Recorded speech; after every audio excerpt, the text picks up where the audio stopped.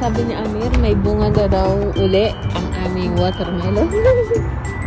Tignan natin.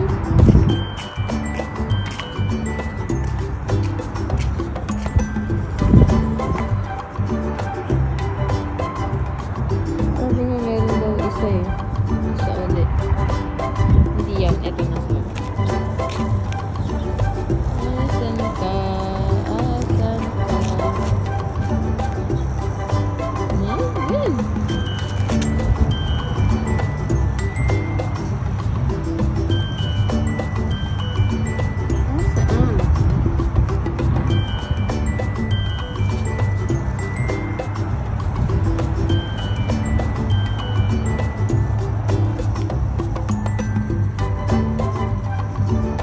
May tubig, diretso, tahan, baba.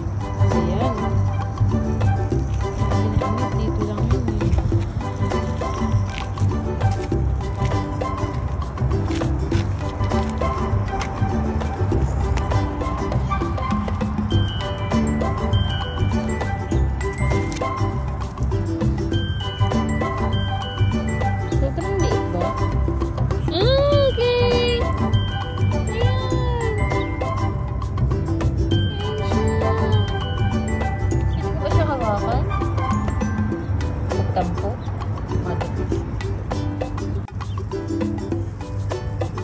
Ayan siya.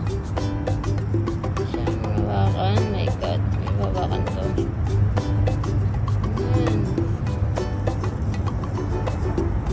Ayan. Watermelon!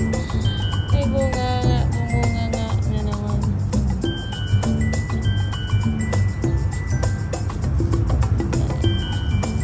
Yun? Tubig talaga siya pupunta.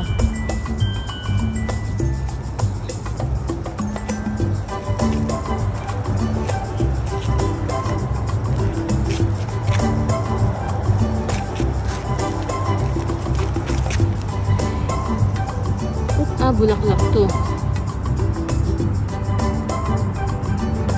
Isa lang yun. Galing. Cute.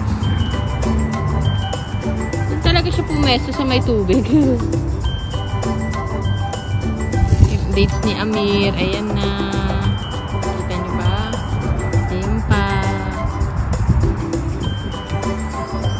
At this year, binigyan siya dito sa maliit na to.